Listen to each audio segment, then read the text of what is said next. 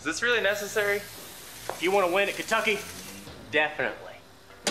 At the roughest track on the circuit, those who prepare take advantage of those who don't. No. Yeah. You don't get lucky in Kentucky. For tickets, call 859-578-2300 or visit KentuckySpeedway.com. Night-night.